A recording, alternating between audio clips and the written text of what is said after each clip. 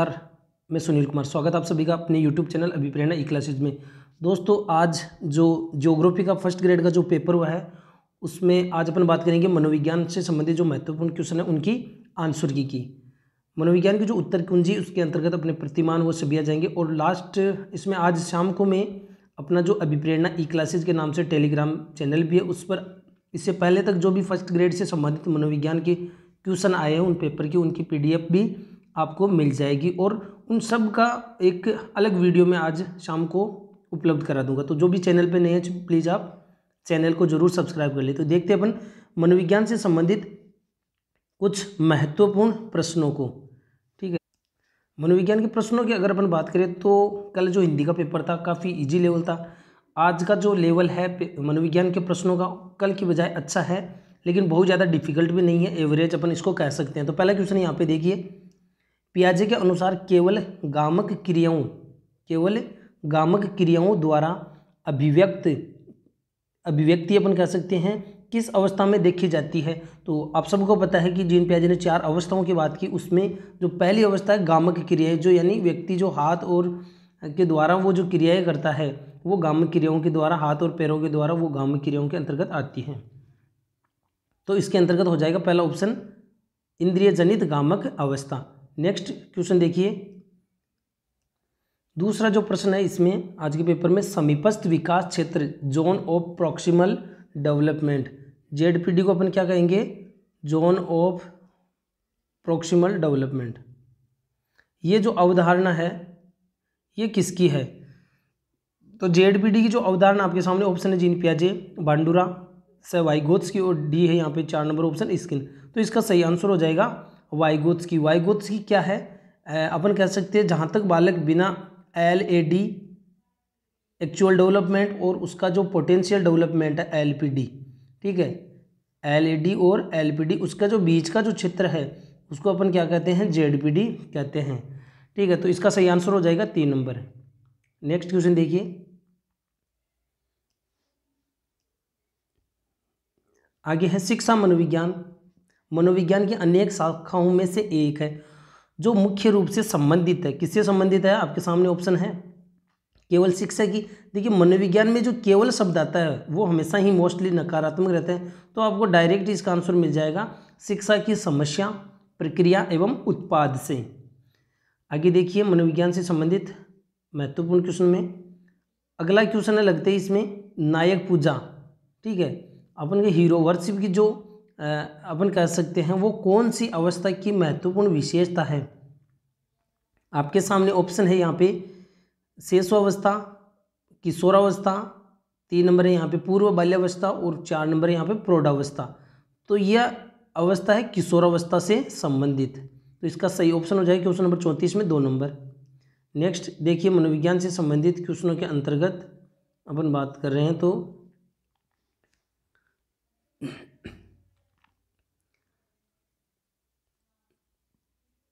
मनोविज्ञान के प्रश्नों में अपन आगे बात कर रहे हैं इसमें। अगला क्वेश्चन अपना है महत्वपूर्ण।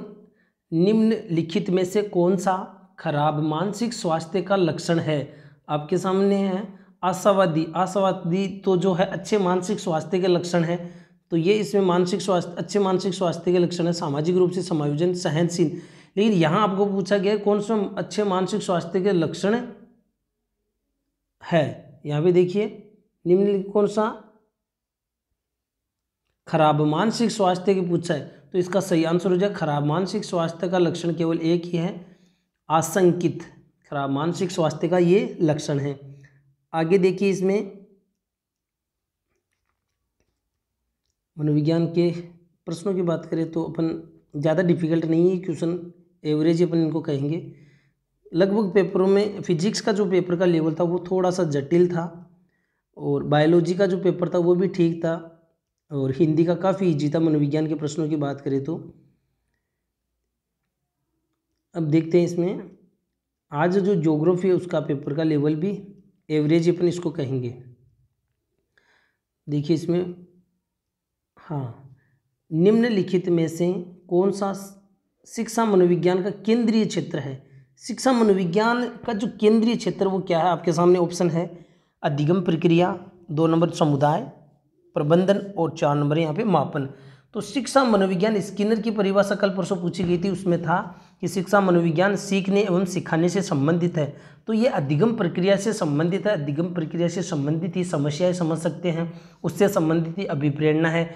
उससे संबंधित ही बालक की बुद्धि का स्तर है। ये सब चीज़ें एक केंद्र बिंदु पर कार्य करती है और वो क्षेत्र है अधिगम प्रक्रिया। तो क्वेश्चन नंबर तिरानवे, कंप्लीट। नेक्स्ट, मनोविज्ञान से संबंधित प्रश्नों की अपन बात करें तो आगे क्वेश्चन देखिए।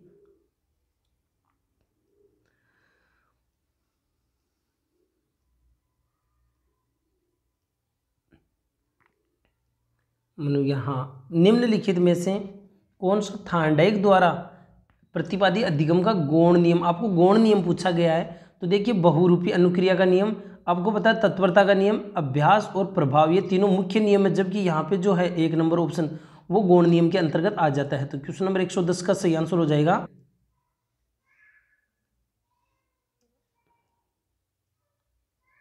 तो क्वेश्चन नंबर जो 110 है, इसका सही आंसर क्या हो जाएगा? आपको थांडाई का गौण नियम पूछा तो बहुरूपी अनुक्रिया का नियम इसके अंतर्गत हो जाएगा। आगे देखिए, मनोविज्ञान से संबंधित प्रश्नों के क्रम में। कोहलब्रग के सिद्धांत में किस स्तर पर नैतिक विकास बाह्य मानकों पर आधारित नहीं होकर आंतरिकरण पर आधारित होता है? महत्वपूर्ण अच्छा क्वेश्चन है। कोलबर्ग ने नैतिक विकास की जो है चरणों की बात करें तो तीन चरण बताए थे, स्तर, जो तीन स्तर थे और अवस्थाएँ छह बात की है यहाँ पे एक अवस्था होती है पूर्व नैतिक प्री कन, प्री, जिसको अपन कह सकते हैं कन्वेंशनल ठीक है? यहाँ पे व्यक्ति बाहरी दंड एवं सजा से बचने के लिए कार्य करते हैं।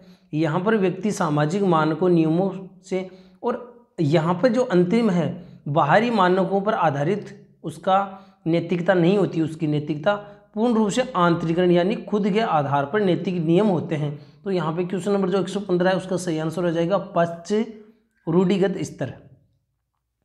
नेक्स्ट क्वेश्चन देखिए। संवेगात्मक बुद्धिमता के महत्व के संबंध में निम्नलिखित कथन दिए गए हैं। सही कथन कौन सा है? आपके सामने ऑप्शन है संवेगात्मक बुद्धिमता आईक्यू से अधिक शक्तिशाली नहीं है। तो संवेगात्मक बुद्धि जो है आईक्यू से अधिक शक्तिशाली है। फिर है, आपको सही कथन पूछा गया है, उच्च संवेगात्मक बुद्धि वाला व्यक्ति अपने जीवन में जो कुछ भी करता है, उसमें सफल होने की संभावना होती है। तो यहाँ पे यह कथन सही है कि जिसमें अच्छा ईक्यू होता है, जिसमें अच्छा ईक्यू होता है, वो व्यक्ति जो भी जॉब कर रहा है, जैसा भी जॉब कर रहा है, उसमें सबसे बड़ी चीज़ होगी वो उसमें सफल और खुशी, दोनों चीज़ उसमें देखने को मिलेगी, उसके सफल होने की संभावना, क्योंकि वो अपनी, अपने आप को पहचान कर वो कोई भी डिसीज़न लेता है, जिसमें अच्छा ईक्यू होता है। यानी अपन इसको संवेगात्मक बुद्धि भी कह सकते हैं। फिर है, हम अपनी संवेगात्मक बुद्धि को जानने के बाद उत्पादक एवं खुश नहीं हो सकते, जब व्यक्ति अपनी संवेगात्मक बुद्धि का मतलब एक आत्मज्ञान, अपनी क्षमताओं को, अपनी कमजोरियों को जानना ही एक अच्छे ईक्यू की पहचान है। तो जब व्यक्ति अपनी ईक्यू पहचान लेता है तो वो अपने ही अकॉर्डिंग एक टारगेट बनाता है और वह उस पर खुश भी रहता है। तो ये कथन यहाँ पे गलत है। फिर संवेगात्मक बुद्धि मापन से शिक्षा विदों में सफलता की भविष्यवाणी नहीं की जाए तो ये कथन भी गलत है। संवेगात्मक बुद्धि के आधार पर हम किसी व्यक्ति की सफलता और खुशी के बारे में भविष्यवाणी कर सकते इसको तो इसके अंतर्गत एक सौ उन्नीस नंबर का जो क्वेश्चन है, उसमें दो नंबर ऑप्शन सही हो जाएगा। आगे देखिए।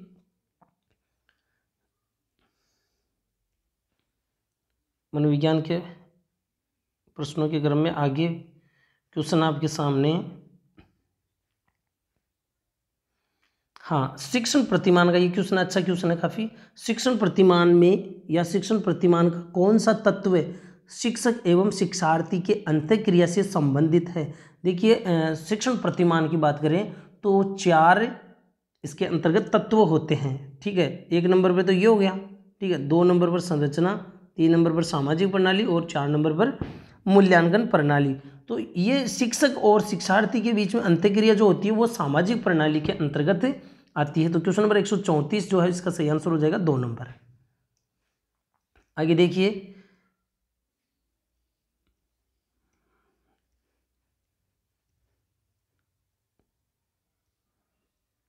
मनोविज्ञान के सहकारी अधिगम का लाभ है। सहकारी, निम्न में से कौन सा सहकारी अधिगम का लाभ है? यहाँ पे है। ए, एक नंबर धारणा में कमी, अधिक, सामाजिक प्रोत्साहन, निम्न उपलब्धि, निम्न आत्मसम्मान। तो ये जो तीनों ऑप्शन गलत है, इसका सही आंसर हो जाएगा दो नंबर। एक सौ चौवालीस का सही आंसर क्या हो जाएगा? दो नंबर। आगे देखिए। एक सौ अड़तालीस नंबर। एक सौ अड़तालीस नंबर देखिए। कौन सा कथन आपको युग में देखना गलत युग यहाँ पे पहला अवलोकन अधिगम बांडुरा का है। ये यहाँ पे सही ऑप्शन है यहाँ पे। ये तो सही ऑप्शन है। गलत युग में देखना है, अर्थपूर्ण शाब्दिक अधिगम आगे देखते हैं। सक्रिय अनुबंधन का सिद्धांत स्किनर का है और शास्त्रीय अनुबंधन पावलों का है। तो इसका सही आंसर हो जाएगा एक सौ अड़तालीस नंबर पर दो नंबर। और आगे मनोविज्ञान के कोई क्वेश्चन नहीं है। तो ये थे आज के अपने मनोविज्ञान से संबंधित इसमें महत्वपूर्ण क्वेश्चन प्रश्नों का लेवल काफ़ी नॉर्मल लेवल था। तो जो भी चैनल पे नए हैं प्लीज़ आप चैनल को ज़रूर सब्सक्राइब कर लें और मनोविज्ञान से संबंधित महत्वपूर्ण वीडियो आपको यहाँ इस चैनल पर देखने को मिलेंगे।